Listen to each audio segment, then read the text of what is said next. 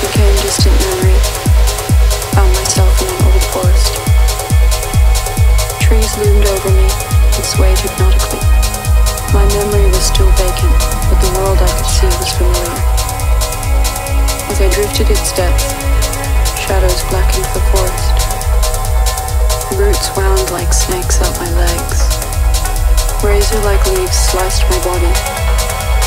The obscurity was suffocating my being.